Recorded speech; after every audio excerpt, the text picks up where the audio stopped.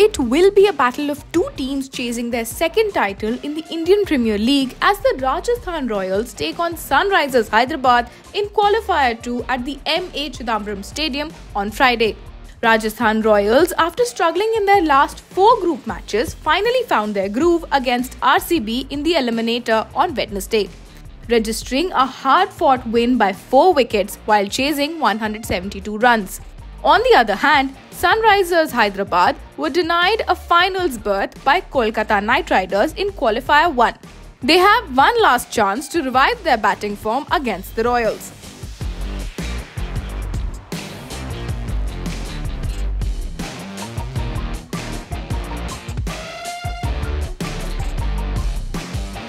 Rajasthan Royals would use Shimron Hetmyer and Donovan Ferreira as impact players, while on the other hand, Sunrisers Hyderabad may bring in T. Natarajan.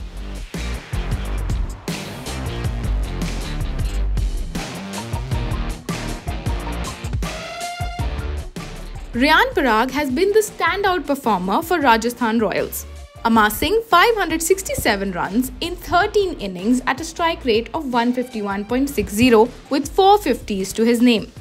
Sanju Samson, the skipper, has been a consistent force, scoring 521 runs in 15 matches and will be pivotal as Rajasthan Royals face Sunrisers Hyderabad in the second qualifier.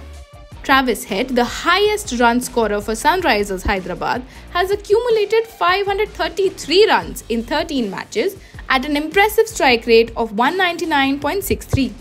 T. Natarajan has been their go to bowler, claiming 18 wickets in 12 matches and will be crucial on Chennai's bowler friendly pitch. Yuzvendra Chahal with 18 wickets in 14 matches could be crucial on Chennai's slow turning pitch. Ravichandran Ashwin with 9 wickets this season also thrives on this surface. Pat Cummins and Rahul Tripathi will be key for Sunrisers Hyderabad given their recent performance and ability to impact the game in crucial moments. As both teams meet for the 20th time over the years, the previous 19 occasions have seen the Sunrisers ahead with 10 wins. The Orange Army also won their last encounter in the group stage of this season's IPL. In the playoffs, both Rajasthan Royals and Sunrisers Hyderabad have met only once which was back in 2013 when Rajasthan Royals won against the Sunrisers in the eliminator. The MA Chidambaram Stadium is known for its slow turning track where the ball holds up as the game progresses, providing great assistance to the spinners.